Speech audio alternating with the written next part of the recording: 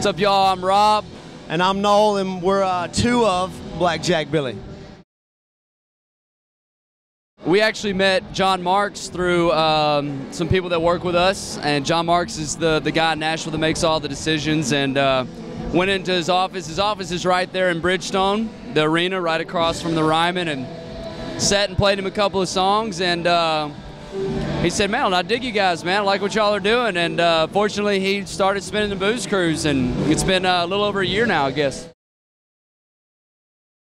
Uh, honestly, we were just goofing around. Uh, most of the songs we write just come from us talking about something and getting into it, and somebody pulls out a guitar and we start in. But uh, we had been down to play spring break in Florida at uh, Panama City at a club called Spinnaker, and it's just absolutely nuts. And we just kind of wrote about some of the stuff we've seen down there and uh, our own experiences at spring break.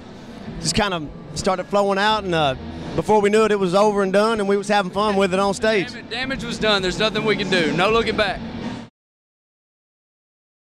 First of all, we're gonna watch Kip. Yeah, Big fans of Kip, man. Uh, One Republic's playing later. We're, uh, we we got to see uh, One Republic play at um, Whiskey Jam in Nashville at a club about the size of this microphone uh, called Winners, and they're just phenomenally talented band, man. Looking forward to seeing them later for sure.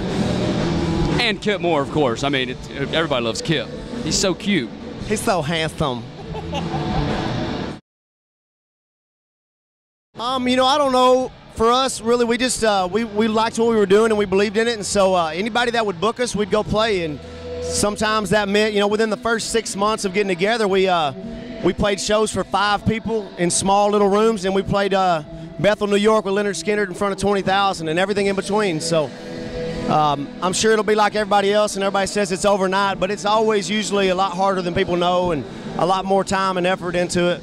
But we're having a blast, man. We really haven't even dissected it yet.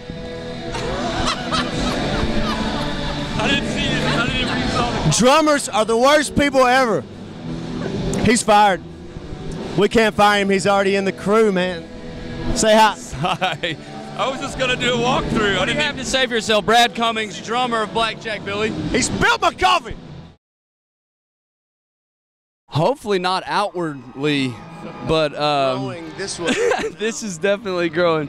Uh, man, you know we're songwriters at heart, and uh, I think as a songwriter, you're always wanting to write better songs and surround yourself with better songwriters. And uh, you know, we the more people that want to come see us play, the better. The, the better songs we can write, the better we can get musically. I mean, we want to be the best band that we can possibly be in every aspect. We want to do better interviews.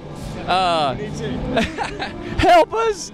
do a better job of crashing interviews. Apparently, that Oh, you're really good at crashing interviews. So, and anyway, man, I mean, it, obviously you want to sell records and you want to have fans come and see you play, but I feel like if we just keep writing songs, the best songs we can write, then everything else take care of itself.